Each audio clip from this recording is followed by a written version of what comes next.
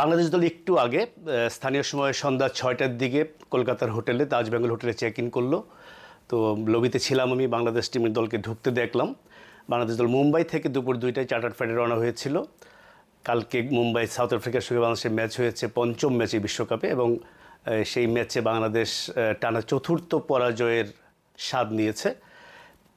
কলকাতায় আসার পর বাংলাদেশের বিশ্বকাপ বলতে গেলে যে ধরেন আপনি নয়টা ম্যাচ যেহেতু হবে এখানে টোটাল বিশ্বকাপে বাংলাদেশ খেলবে।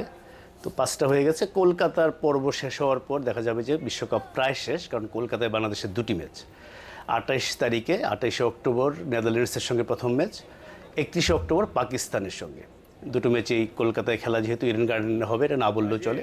আরেকটা খবর বোধহয় আপনারা এর মধ্যে জেনে গেছেন যে অধিনায়ক সাকিব আল হাসান মুম্বাই থেকেই ঢাকায় ফেরত গেছেন। ফেরত গেছেন বলতে ঢাকায় গেছেন তিনি মাঝখানে দুদিনের জন্য। আমরা যেটা শুনেছি তাকে তিনি ছাব্বিশ তারিখে দলের সঙ্গে যোগ দিবেন। ছাব্বিশ বলতে তো আগামীকাল হয়। বাংলাদেশের ম্যাচ হচ্ছে আঠাশ তারিখে। কালকে, কালকেই তিনি দলের সঙ্গে যোগ দিবেন বলে আশা করা যায়।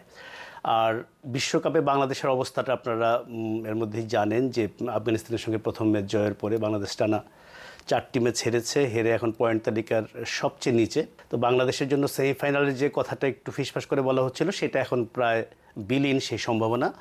বাংলাদেশের জন্য এখন পাঁচ ছয়ে শেষ করতে পারাটাই একটা বিরাট ব্যাপার হবে। এই কলকাতার দুটি ম্যাচ নেদারল্যান্ডস এবং পাকিস্তান এই দুটো ম্যাচের পরেই অনেকটা পরিষ্কার হয়ে যাবে বাংলাদেশি বিশ্বকাপে। আসলে বাংলাদেশের অবস্থানটা কী হবে? এরপরে দুটো ম্যাচ থাকবে শ্রীলঙ্কার অস্ট্রেলিয়া। স্বাভাবিকভাবে ওই দুটো ম্যাচ জিতলে একরকম, হারলে আরেক রকম। তারপরে পাকিস্তান এবং নেদারল্যান্ডসের এই দুটো ম্যাচের পরে কলকাতা থেকে যখন বাংলাদেশ দল দিল্লি যাবে শ্রীলঙ্কার সঙ্গে খেলার জন্য, তখন একটা আইডিয়া মোটামুটি হয়ে যাবে বাংলাদেশ দলের এই বিশ্বকাপে আসলে বাংলাদেশ কেমন করছে।